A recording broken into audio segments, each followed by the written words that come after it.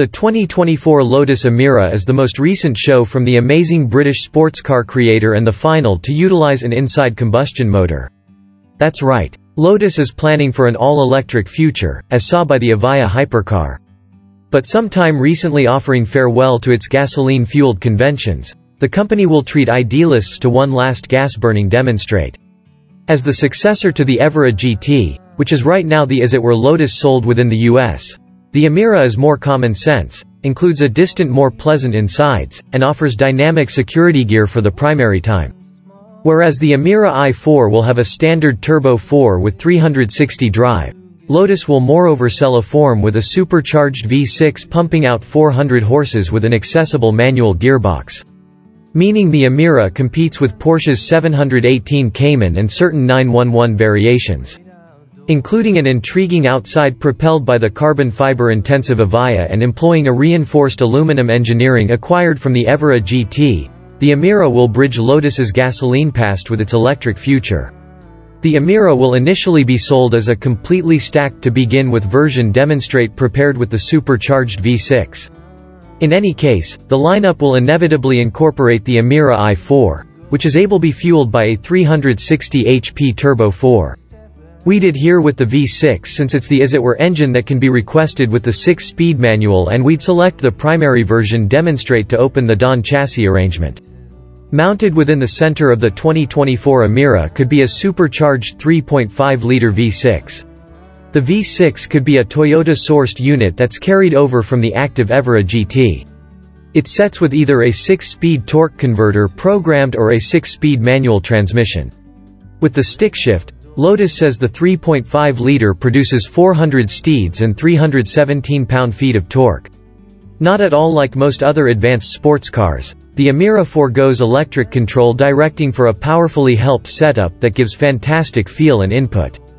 Amid our starting test drive, we lauded the Emira's adjusted dealing with and brilliant controlling, and we marveled at its commitment to driver inclusion. At our test track, our manual to begin with version test car hit 60 miles per hour in 4.3 seconds and completed the quarter mile run in 12.7 seconds at 111 miles per hour.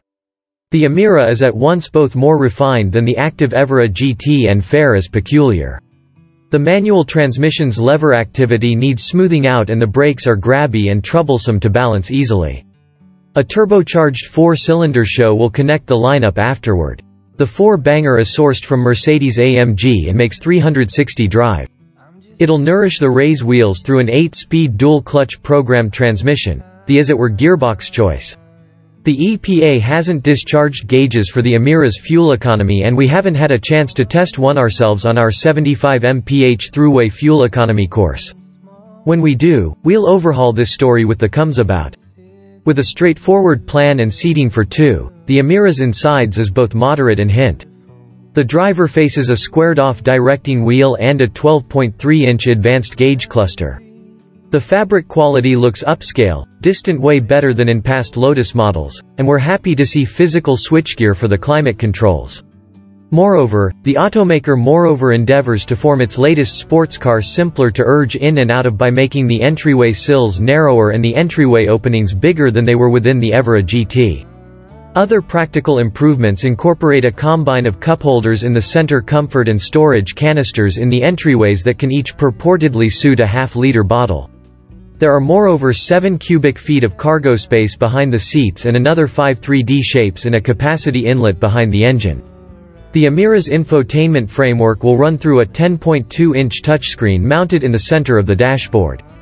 Separated from controls on the steering wheel and the probability of voice commands, there are no physical controls to alter the stereo's volume or tuning. At the side 12-volt and USB charging ports, the sports car will highlight standard Apple CarPlay and Android Auto smartphone functionality.